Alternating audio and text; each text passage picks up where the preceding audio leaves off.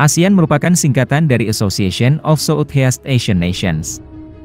Dikenal juga dengan nama Perhimpunan Bangsa-Bangsa Asia Tenggara, ASEAN merupakan sebuah organisasi dengan tujuan mensejahterakan dan memajukan negara di Asia Tenggara.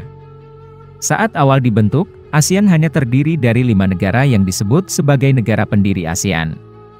Negara tersebut adalah Indonesia, Malaysia, Singapura, Filipina, dan Thailand. Namun kini sudah ada 10 negara dalam keanggotaan ASEAN. Mungkin belum banyak yang tahu, ASEAN merupakan organisasi geopolitik dan ekonomi yang anggotanya adalah negara dari kawasan Asia Tenggara. Organisasi ini dibentuk karena adanya keinginan kuat dari para pendiri ASEAN untuk menciptakan kawasan Asia Tenggara yang damai, aman, stabil, dan sejahtera. ASEAN telah melakukan banyak kerjasama setelah berdiri sejak tahun 1967. Salah satu kerjasama ASEAN adalah kolaborasi dengan tiga negara lain, yaitu Jepang, Cina, dan Korea Selatan. Kerjasama ini dikenal dengan nama ASEAN Plus 3. ASEAN Plus 3 ini diawali dengan adanya kebutuhan energi yang kian meningkat dalam tingkat regional maupun internasional. Pada akhirnya, kerjasama ASEAN Plus 3 ini disepakati di Manila, Filipina, pada tanggal 9 Juni tahun 2004. Beberapa program yang telah disahkan antara lain seperti Oil Stockpiling Forum, Oil Market Forum, Energy Security Forum, dan Natural Gas Forum. Nah baru-baru ini Jepang menilai bahwa Indonesia merupakan negara terpenting di ASEAN. Posisi Indonesia di Asia Tenggara dianggap sangat penting, terutama dalam perannya di kawasan tersebut. Hal ini disampaikan langsung oleh Duta Besar Jepang untuk ASEAN, yaitu Masahiko Kia. Ia baru saja menyerahkan surat kepercayaan kepada Sekretaris Jenderal ASEAN, Lim Jok Hoi. Lebih lanjut ia mengatakan, bahwa Indonesia memiliki peran yang penting di dunia global, misalnya ASEAN dan G20. Terlebih Indonesia telah memegang presidensi G20, dan akan mengetuai ASEAN di tahun 2023. Lantas bagaimanakah Indonesia di mata Jepang sehingga disebut sebagai negara terpenting di ASEAN? Mari sama-sama kita membahasnya lebih lanjut.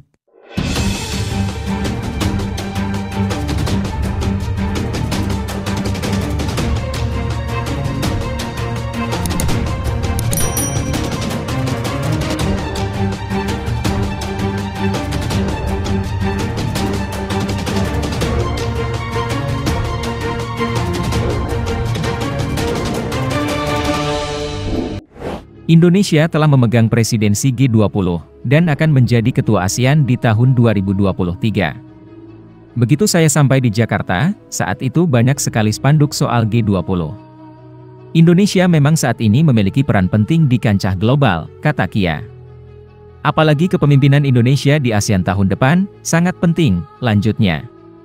Lebih lanjut, Kia mengungkapkan soal isu yang dibicarakan dalam pertemuannya dengan Lim Jok Hoi, yakni perdamaian dan keamanan kawasan terutama Indo-Pasifik. Tak hanya itu, keduanya juga membahas soal peringatan 50 tahun kerja sama ASEAN dan Jepang yang akan jatuh pada tahun depan. ASEAN cukup penting bagi Jepang dan sebaliknya, Jepang juga merupakan mitra kawasan yang penting juga untuk ASEAN, ucap Kia. Sejak permulaan terbentuknya ASEAN, Jepang telah memberikan kerjasama dan bantuannya di berbagai bidang luas, seperti ekonomi, sosial, kebudayaan, dan lain-lain kepada ASEAN.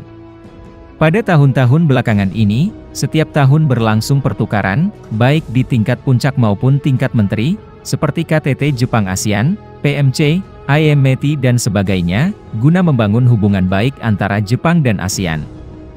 Tahun 2022 ini diproyeksi akan menjadi tahun penting bagi negara-negara di kawasan menyusul cepatnya perubahan geopolitik dan geoekonomi. Hubungan ASEAN dengan Jepang pun diharapkan akan tetap berada di koridor yang positif, bahkan semakin menguat. Dalam diskusi online berjudul Next Chapter of ASEAN and Japan Economic Cooperation in the Post-Pandemic Era, Januari lalu, Presiden Economic Research Institute for ASEAN and East Asia, Hidetoshi Nishimura menyebut, ASEAN memiliki kapasitas untuk memimpin sebuah transisi global. Hanya saja untuk mewujudkannya memang dibutuhkan sejumlah perubahan signifikan dan berani. Di antara tantangan yang tengah dihadapi ASEAN adalah krisis politik di Myanmar. Nishimura menekankan, saat ini penting untuk menilai kondisi ASEAN secara keseluruhan dan berinvestasi dalam skala besar untuk menciptakan kesinambungan dan masyarakat ekonomi yang inovatif. Pada tahun ini, keketuaan ASEAN akan dipegang oleh Kamboja. Perdana Menteri Hun Sen adalah salah satu pemimpin terlama dunia. Negara-negara barat serta kelompok HAM telah lama mengutuk Hun Sen atas tindakan keras terhadap lawan, kelompok hak-hak sipil, dan media di Kamboja. Sedangkan Fukunari Kimura, kepala ekonom dari Economic Research Institute for ASEAN and East Asia menilai, saat ini dunia masih bisa mempercayai perkembangan ekonomi global, kendati dunia masih dihadapkan pada sejumlah tantangan, seperti pandemi COVID-19, ketegangan geopolitik, teknologi digital, lingkungan dan kesinambungan. Jepang akan terus menjadi pihak yang terpercaya, diandalkan, dan mitra kreatif bagi ASEAN, kata Kimura. Menurut Kimura, masih banyak sektor yang bisa menjadi ladang kerja sama ASEAN dengan Jepang. Contohnya seperti di bidang manufaktur dengan teknologi inovasi, di sektor jasa, pendidikan, pengembangan kapasitas SDM, kedokteran, energi, lingkungan hingga penanganan kelompok usia tua. Adapun terkait kerjasama ASEAN-Jepang, dan bersamaan dengan keketuaan Indonesia di ASEAN tahun depan, akan diselenggarakan KTT peringatan 50 tahun ASEAN-Jepang di Tokyo dengan tema perayaan Golden Friendship, Golden Opportunities. Dalam penyelenggaraan ASEAN-Jepang Ministerial Meeting di Phnom Penh, Kamboja, pada Agustus 2022 lalu, Menteri Luar Negeri Indonesia Retno Marsudi menekankan bahwa Indonesia mengharapkan adanya kerjasama konkret yang saling menguntungkan dan inklusif di Indo-Pasifik, yang dapat diutamakan dalam kemitraan ASEAN-Jepang di masa mendatang.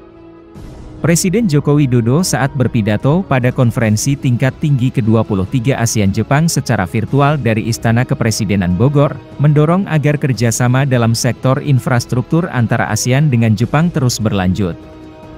Jokowi yakin infrastruktur berpotensi menggerakkan roda perekonomian kawasan, serta menyerap tenaga kerja dalam jumlah besar. Infrastruktur dan konektivitas juga merupakan salah satu prioritas kerjasama konkret di bawah ASEAN Outlook on the Indo-Pacific. ASEAN Jepang memiliki pengalaman kerjasama yang cukup panjang dalam pembangunan infrastruktur. Pemerintah Jepang telah lama terlibat mendukung implementasi Master Plan on ASEAN Connectivity, ujarnya. Jokowi menjelaskan, pada 2023 Indonesia berencana untuk menyelenggarakan Forum Infrastruktur Indo-Pasifik. Dia pun yakin Jepang akan mendukung penyelenggaraan forum tersebut. Kemitraan dengan sektor swasta Jepang pun menjadi penting, khususnya dalam hal transfer ilmu dan teknologi, dan mobilisasi pembiayaan, ungkapnya.